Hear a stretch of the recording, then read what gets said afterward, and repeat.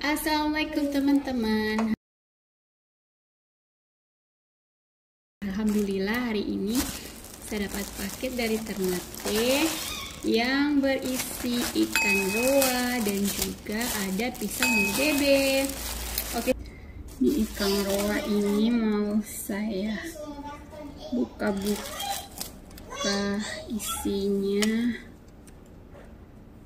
lalu mau dipanggang jadi lebih awet.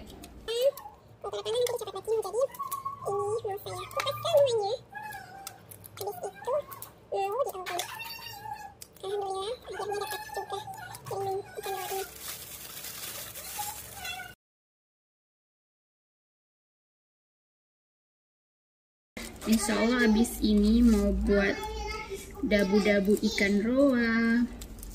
Makanin pisang goreng. Pisang goreng mulu bebek. Ala tapak ternate gitu. Ala tapak ternate. Hehe.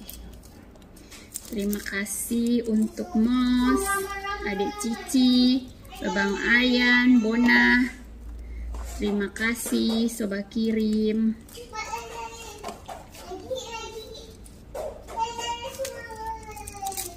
ini kalau bikin pampis juga sedap. Ikan pampis dabu-dabu mantah masya Allah sadap bahaya makan dengan apa namanya?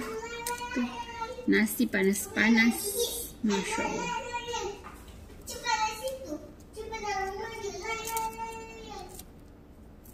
oke. okay.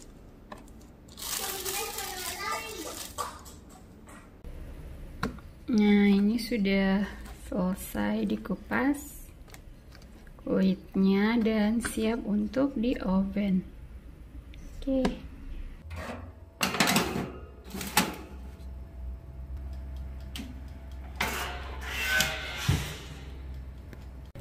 Nah, sekarang saya mau buat dabu-dabu roa.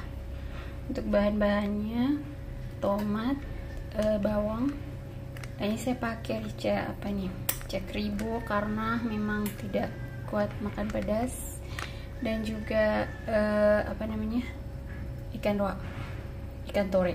Nah ini semua sudah dicuci bersih. Nah sekarang ini mau saya panggang saya oven saja tidak saya goreng ya. Mengurangi konsumsi minyak. Oke so sekarang kita pindahkan di loyang Nah ini untuk tomat B dengan bawang ini sudah saya potong-potong ya Supaya dia tidak meletup nanti di dalam oven. Oke sekarang kita panggang. Nah ini tidak saya kasih belacang karena memang tidak ada belacang Tidak ada stok. Jadi pakai bahan yang ada saja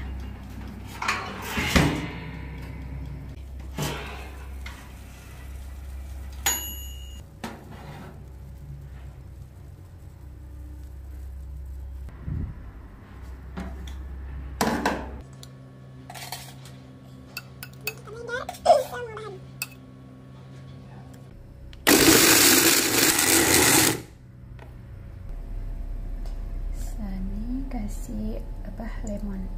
Si lemon ikan satu.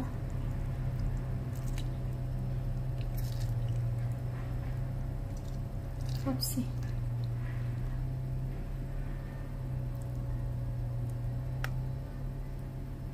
Sedikit garam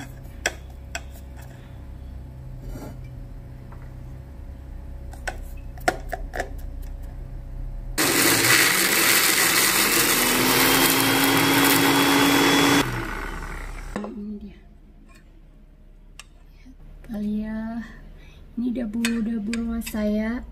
Jadinya kayak gini. Ini saya pe dabu-dabu ruah jadi kering-kering begini. Hmm. Ini makan dengan pisang bebek ya. Tada. Mulu bebeknya berupa kretek. Jadi karena sekarang mungkin mau kirim apa namanya uh, sika eh DP buah. Sampai sampai sini nanti dia sudah potong nanti ada bakimu oke kita ini banyak sudah apa pecah-pecah. Oke kita makan dulu. Bismillahirrahmanirrahim. Hmm. Sedap Masya Allah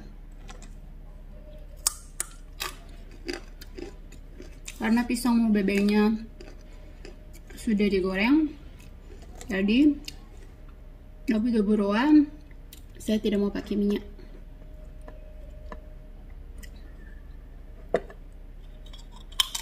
hmm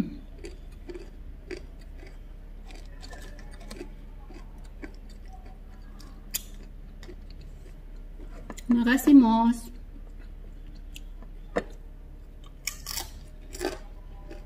ini jadi kayak cakalang garu rica kering-kering boleh makan dengan nasi sedap hmm yum yum Masya. Sedap.